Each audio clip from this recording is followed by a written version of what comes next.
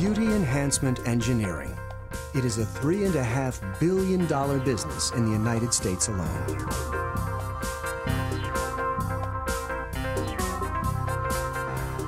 Makeup.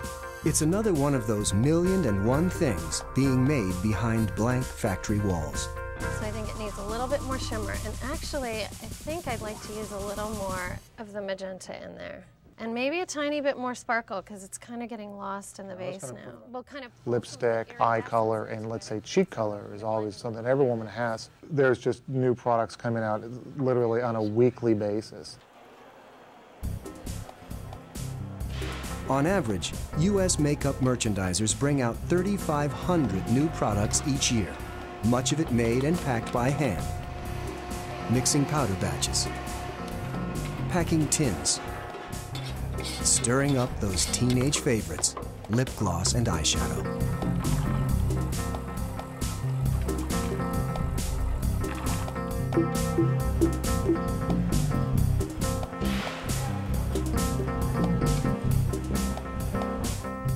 In an upstairs lab, the Smashbox Cosmetics team works on a new lip tint for a photo shoot. And we are pouring it now into our lipstick mold. We need to just put into the fridge for a few minutes. There's one of those urban myths that lipstick is made out of recycled cooking grease. The Smashbox Cosmetics people assured us that theirs is not. The chemists will actually take them because there's a lot of different elements they're going to want to add to this to make it an actual lipstick. There Look at that. Bullets. Seductive red lips may be mysterious, but lipstick is not. Get rid of the fingerprints. Quite simply, colored waxes. One major ingredient, carnauba wax, pressed from the leaves of the Brazilian carnauba palm.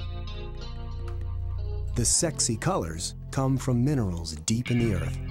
So we sit here and play all day and we'll develop several different eyeshadows, lipsticks, lip glosses. After mixing all these waxes, pigments, pearl flakes, and general shimmering, what have they created? Presto Changeo red lips. What do you think? Looks good. Oh, it actually looks really good. it came out nice, didn't it? No, I love it. It feels great too. Good job.